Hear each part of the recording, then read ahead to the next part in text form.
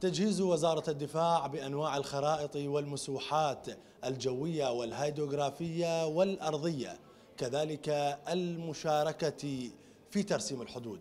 كل هذا ضمن عمل المساحة العسكرية. المساحة العسكرية هي إحدى صنوف وزارة الدفاع تهتم بتجهيز الوزارة بأنواع الخرائط وتدقيقها وطباعتها من خلال أجهزة حديثة متخصصة.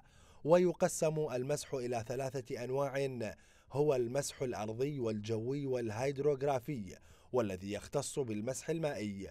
وتتكون المساحة العسكرية من ستة أقسام رئيسية لكل منها عمله الخاص فضلا عن سرية المساحة العسكرية وجناح التدريب. تقوم مديرية المساحة العسكرية بإنتاج وطبع وتصميم الخرائط بكافة أنواعها ومقاييسها.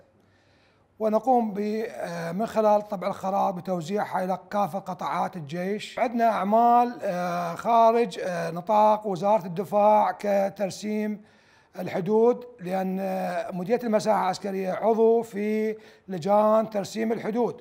وعندنا أيضا أعمال في لجان تخصيص الأراضي مع وزارة الأعمال والإسكان. وعندنا لجان مع التعداد السكاني.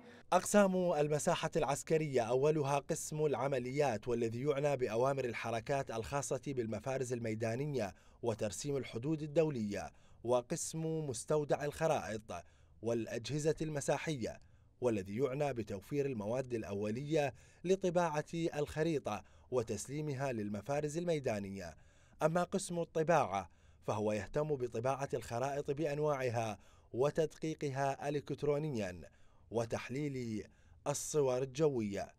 وقسم الإدارة والميرة وعمله الأساسي هو إدامة كشف الموظفين وقسم التدريب والذي يعنى بإعداد وتطوير ضباط ومراتب وموظفي صنف المساحة العسكرية. والقسم الأخير هو القسم الفني.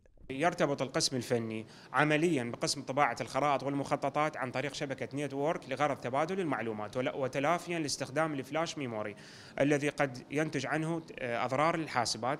بعد ما تصمم الخارطة وتنتج بشكل نهائي في القسم تحول إلى آه، قسم طباعة الخرائط والمخططات بعد ما تدقق آه، لغرض طباعتها وتسليمها للجهات المستفيدة. سرية المساحة العسكرية والتي تختص بالعمل الميداني حيث يقع على عاتقها إخراج الزمر المساحية لجميع قواطع وتشكيلات الجيش العراقي حيث تشترك مع مديرية الأسكان العسكري ومديرية الأشغال العسكرية لتنفيذ المشاريع المختلفة الخاصة بوزارتنا.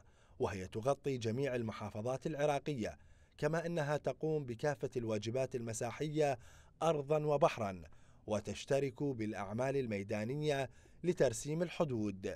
تقوم هذه السرية بتنفيذ كافة الأعمال مسح الميداني اللي على الأرض إضافة إلى آه، عندنا مسوحات آه، في البحر المسح الهيدروغرافي وأيضا هي مشتركة في تنصيب الدعامات الحدودية بين العراق ودول الجوار. جناح التدريب يختص بإقامة الدورات الأساسية والحتمية والتطويرية كقراءة الخارطة واستخدام جهاز ال GPS والتحويل بين أنظمة الإحداثيات ودورة جهاز ال CRC لإيجاد الإحداثيات بدقة عالية. الدورات تشمل إنه قراءة الخارطة والنظام والاحداثيات ال GPS وكذلك الأجهزة المساحية ال level وال total station وال GR 5 الأجهزة المتطورة وكذلك بالنسبة لقيادات الفرق عندهم احتياج لقراءة الخارطة والتحويل بين أنظمة الأحداثيات نفتح لهم دورات استثنائية يدخلون بها.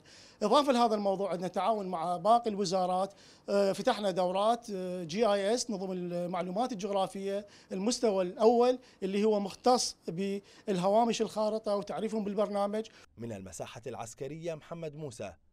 إعلام وزارة الدفاع.